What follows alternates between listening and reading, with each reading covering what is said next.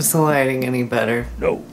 It's a work in progress. I'm sorry in advance. Hey friends! So, who's up for a Q&A?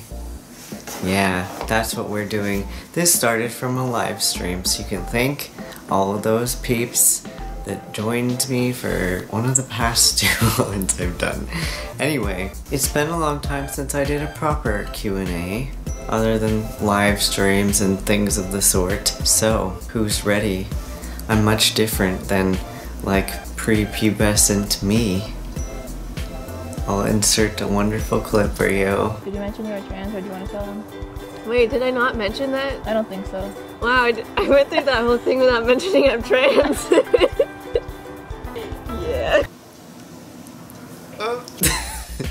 Alright, well, now that you've seen that, I'm sure all your questions are answered. Just kidding.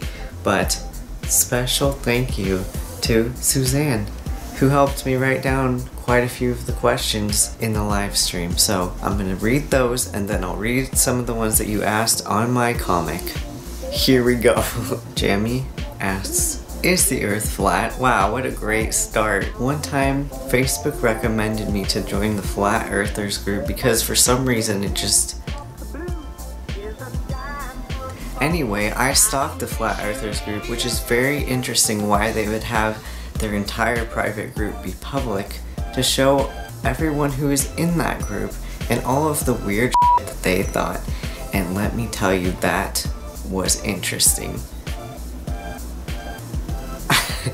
I mean, I get conspiracy theories and everything like that, and I, there's people will believe what they want, but that doesn't mean they're correct. And going to great lengths and refusing the very first thing you learn when you are a child, which is gravity. How many times have you fallen off of something? Let me tell you.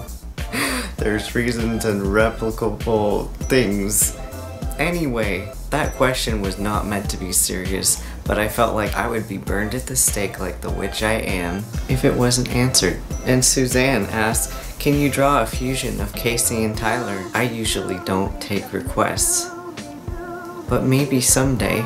Emily asks, when did you start drawing? I don't remember.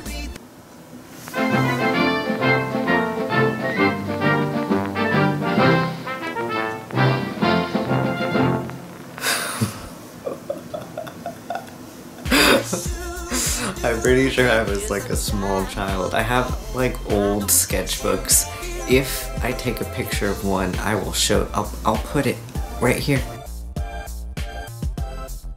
But anyway, if you're asking when I started officially drawing like better, that's, well not better, but you know, like trying harder, then I was probably like 10 or 11. It was when I was reading Full Metal Alchemist. A confused starfish asks, how does one draw? Now that is a philosophical question. And how do you find the motivation? Well, it has to be something you're passionate about. So if you want to draw something, draw something that you prefer to draw and not something that you...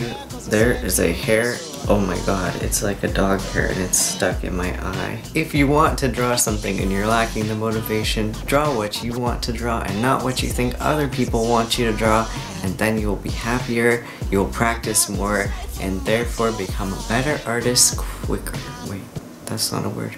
Faster. Oh my god. I'm a train wreck. This is what happens when you don't film videos for three weeks, everyone. If you are a YouTuber, do not, do not do that. Wolf Draws asks, what is your favorite color? It's red. Everyone thinks it's black. I wonder why. Emma asks, are you a BTS fan?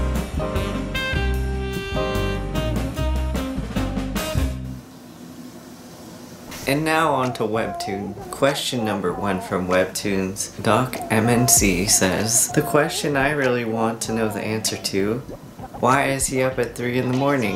That was 12 in the morning for me, but as I was just saying on my last live stream, apparently a whole giant number of you are all from three hours ahead of my time zone. I don't know. I guess I just accidentally wake you up every Wednesday and Saturday at 12 a.m. my time and 3 a.m. your time. Most likely, if you're a reader of my comic. So for that, I apologize. That's kind of bad. I'm so sorry. Mystic Melody says, Okay, first, I love being called a weird internet child, and I will now forever put that everywhere. That is what I'm. I think that is a good name for you all. I just naturally started calling you. I don't even know when it started, but that was just my name for you. You in my head. and now it just became a thing. Should it be a thing? Tell me what you think in the comments below. But anyways, Mystic Melody continues says, Here's a question I've wondered for a while. When's your birthday? It's August 20th. Now you know. Anime is my life says, What is your favorite part of drawing this webtoon? Also, what advice would you give to beginning artist? Well, I already somewhat answered that from a confused starfish. That that was a weird that was a weird statement, but you you know what I mean. it was in a question earlier with the username, not a confused starfish. Okay, you get it. But my favorite part of drawing this webtoon would probably be I guess it changed recently because in the past it was like coloring and shading and then making it all nice. But since I don't have time for that and I've decided to literally just sketch and go, which is a relief, let me tell you.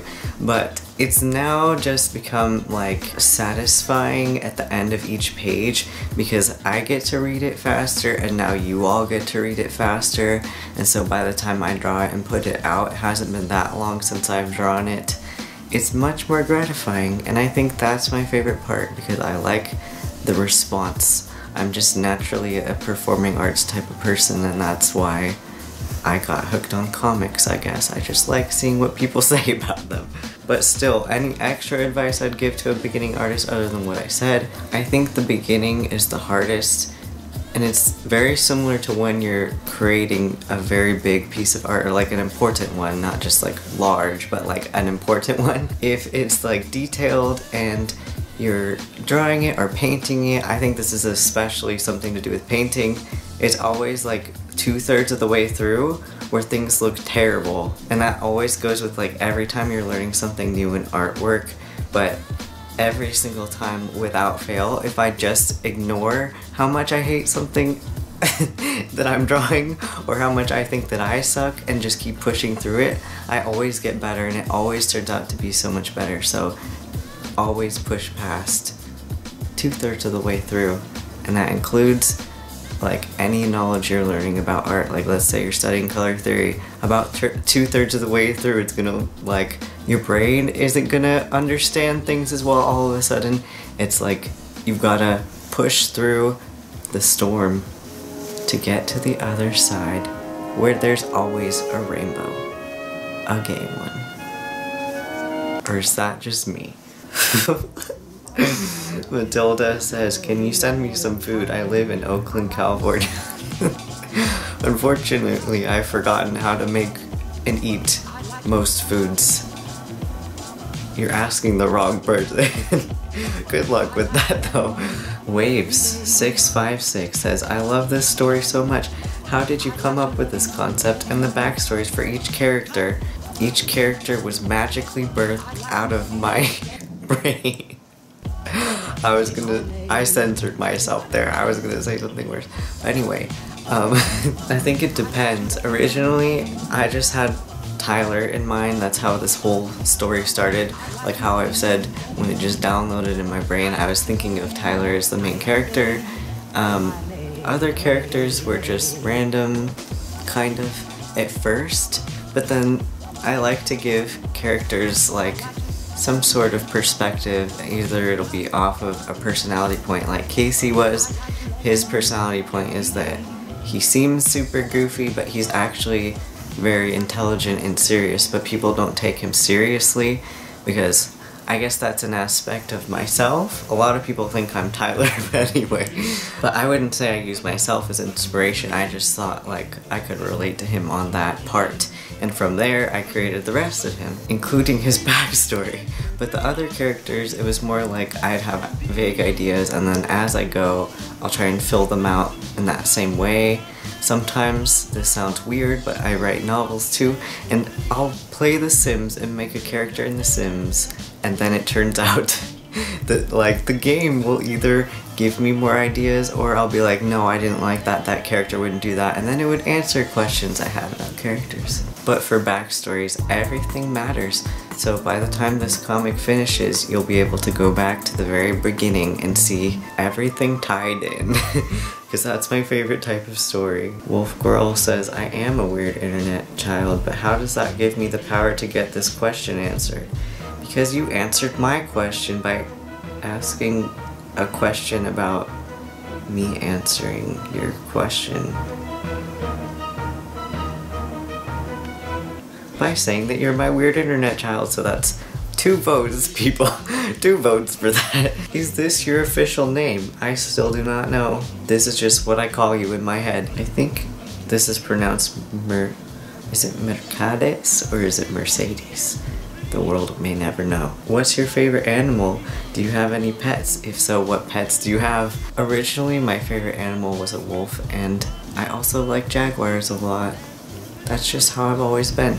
But I have three dogs right now. I have an old lady dog and two crazy dogs. If you watch any of my other videos, you will see them sometimes. They make usually an unwanted appearance. but I love them for it. It's okay.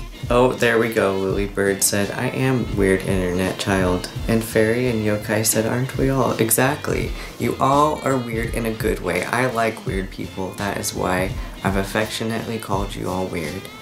Oh my gosh, I get, okay, more people than I realized have answered my question. Effectively, I've gotten a question answered when I'm supposed to be answering your questions. What type of mind is this? Jillian Stevens says, yes, we are weird internet children. Oh my god.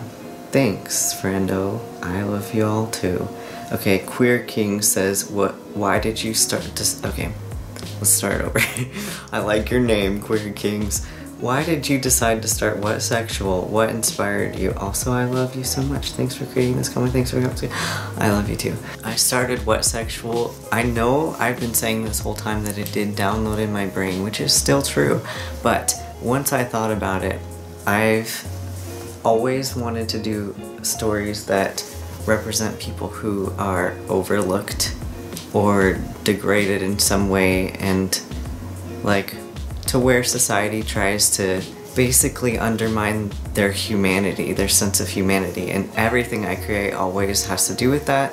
My first comic had to do with that because it had to do with the medical system and like weird stuff. Like I made up a conspiracy theory basically that's half based on things that I've thought about before and experienced.